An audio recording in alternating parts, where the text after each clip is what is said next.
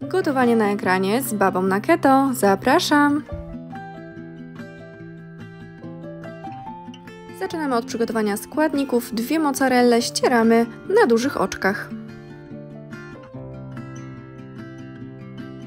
Następnie wbijamy jajo, przyprawiamy solą i pieprzem. Całość mieszamy do połączenia żółtka i białka. Odmieszamy 110 g mąki migdałowej, przygotujemy sobie już jogurt naturalny, a teraz rozgrzewamy masło, dodajemy startą mozzarellę i roztapiamy.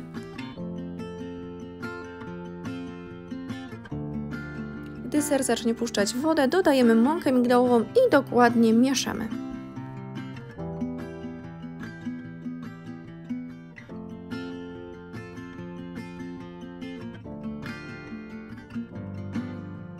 Następnie dwie łyżki jogurtu naturalnego bądź skyra. Ja lubię skyr, ale niestety nie miałam. E, no i co? I mieszamy do połączenia składników.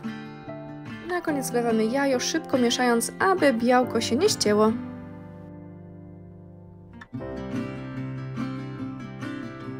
Ciasto gotowe, więc na papierze do pieczenia formujemy trzy małe pizze. Oczywiście nic nie stoi na przeszkodzie, aby po prostu zrobić jedną pizzę. Wkładamy do piekarnika 180 stopni na 20 minut. W międzyczasie przygotujemy sos, 50 g pasaty i 10 g pesto z bazylii. Wszystko podgrzewamy, dodajemy ząbek czosnku i gotowe.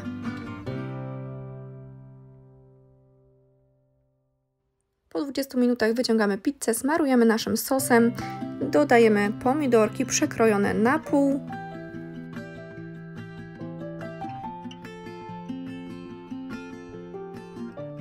A teraz czas na włoską szynkę. U mnie jest prosciutto, pancetta i salami. Po jednym plasterku z każdego rodzaju.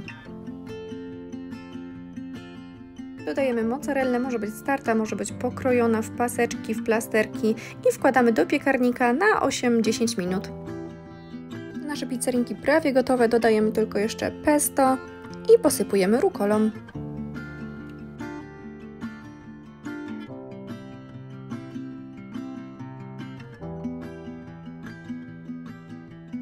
Oczywiście nie zapomnijcie o łapce w górę, jeśli Wam się podobało. Jeśli nie, to napiszcie w komentarzu, co jeszcze poprawić, aby było lepiej. Smacznego!